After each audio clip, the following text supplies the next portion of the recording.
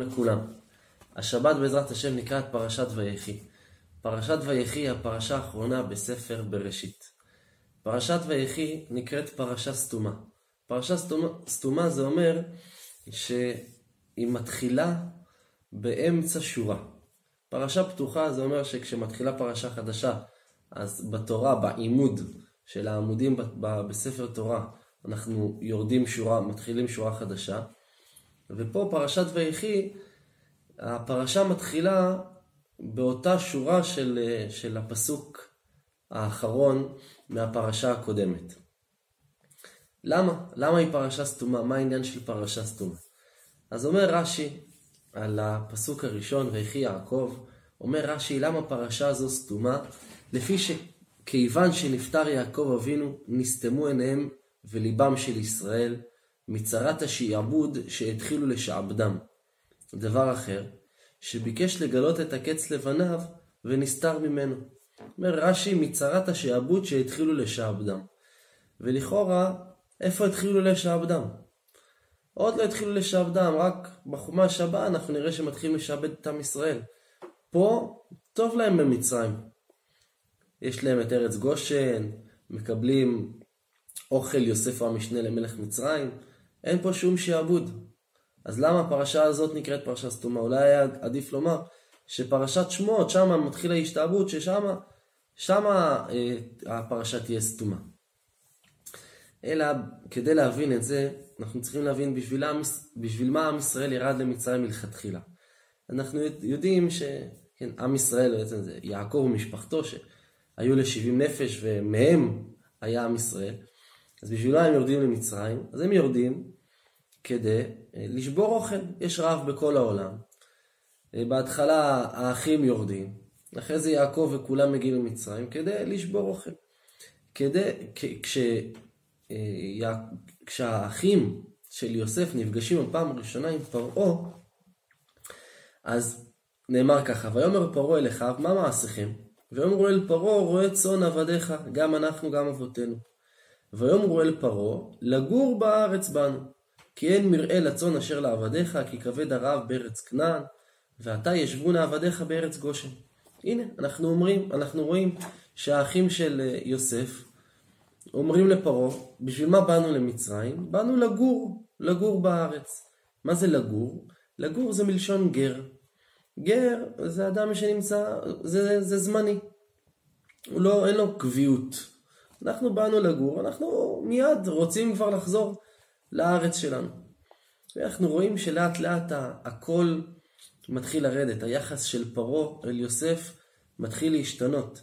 כשיעקב אבינו נפטר בפרשה שלנו, אז יעקב אבינו מבקש לעלות ולגבור את אה, אבא שלו בארץ כנען. אז, כן, אומר, יעקב, אומר פרעה ככה, ויאמר פרעה, עלה וקבור את אביך כאשר השביעך. יוסף מבקש רשות, ופרעה אומר, עלה וקבור את אביך כאשר השביעך. אומר רש"י, כאשר השביעך, ואם לא בשביל השבועה, לא הייתי מניחך. אם לא, אם אבא שלך לא היה נשבע לך, אם אתה לא היית נשבע לאבא שלך, אז אני לא הייתי מניח אותך ללכת ולקבור את אבא שלך. למה? מה העניין? אז אומר רש"י, רש"י ממשיך ואומר שגם יוסף נשבע לפרעה, שיוסף ידע שפה אחת יותר מפרעה, והוא נשבע שהוא לא יגלה את זה. אז פרעה אומר, לך יש שבועה שנשבעת לי, אז עכשיו אני אקיים את השבועה הזאת שאתה נשבעת לאבא שלך. זאת אומרת, אנחנו רואים פה שפרעה כבר מתחיל לזלזל ביוסף. אם לא השבועה שנשבעת לאביך, אני לא הייתי מניח אותך.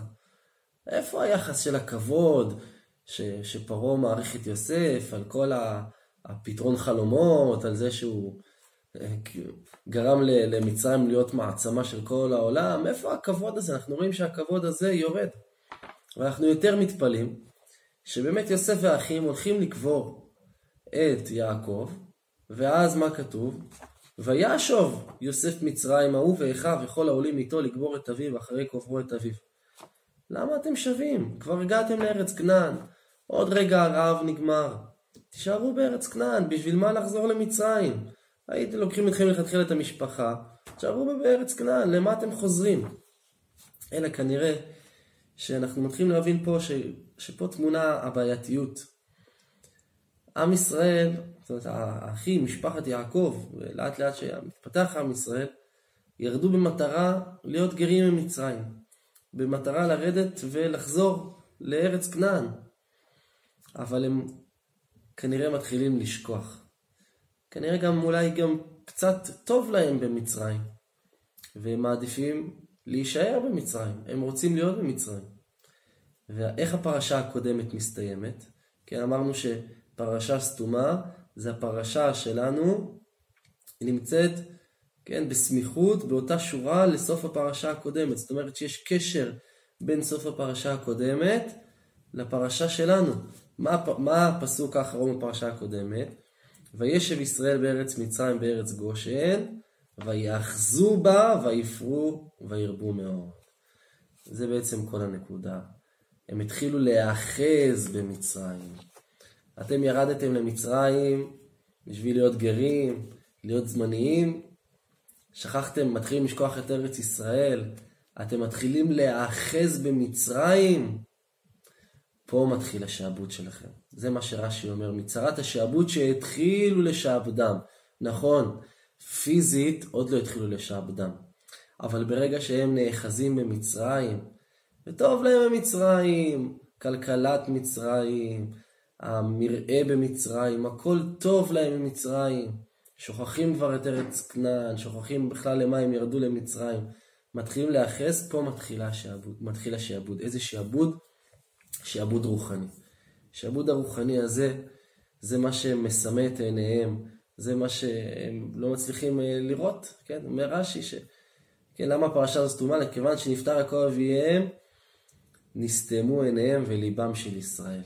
ברגע שהם נאחזו במצרים, העיניים והלב נסתמו.